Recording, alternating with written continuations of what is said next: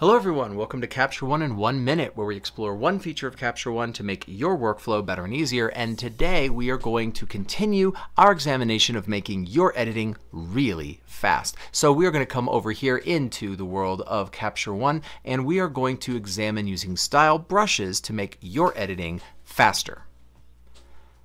First, we need to know how to make a style brush. Very simple. We're going to open up the Layers and Masking tool, just right there, and we're going to create a new brush uh, mask. So we just make sure to create a new uh, layer with a brush. Now I'm going to come over, right click to change the brush settings. We're going to make one for added saturation. Let's say I'm going to set the size relatively big for this effect, take the hardness down because I want to feather it, and when you make a style brush we want the flow very low, somewhere between 3 and 10.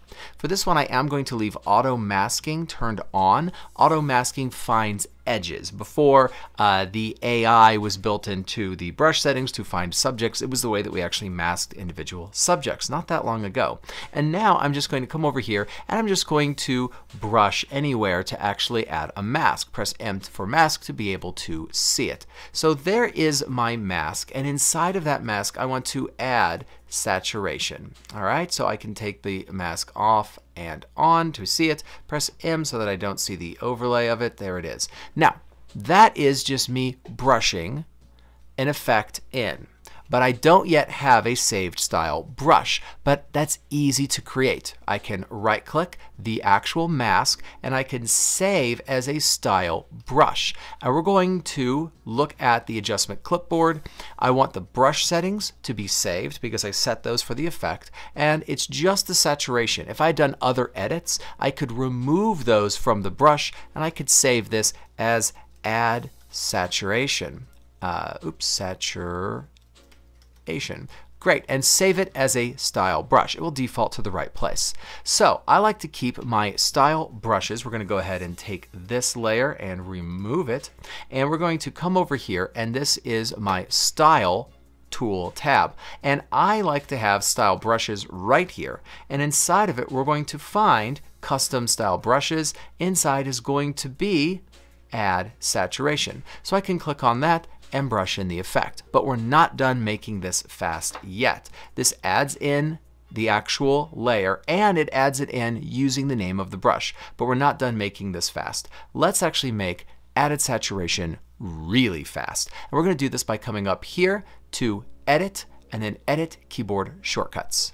We're going to come over to Custom Shortcuts. Here we're able to create a keyboard shortcut to open up a style or a style brush. So I have one through six already uh, indicated here, but I'm going to add a new shortcut command. And there's only four real options. Applying a style, applying a style brush, and opening with or editing with another soft software, which we're going to ignore. I want to apply a style brush, but remember, if you have favorite styles, you can apply them here as well.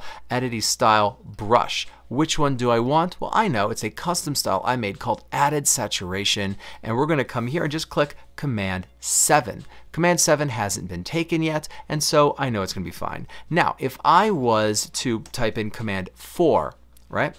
Command 4, it gives me a warning that, hey, this is being used by something else, and it will remove that from that keyboard shortcut from a previous thing, so pay attention to that. But if I don't get any warning, Command 7 is good and I can close. Now let's come over here and under Style Brushes, it says Add Saturation is Command 7. Well, I'm going to turn that off, pop this back in so that nothing is really going on. Change my cursor tool and I'm looking here, I'm just going to hit on the keyboard Command 7.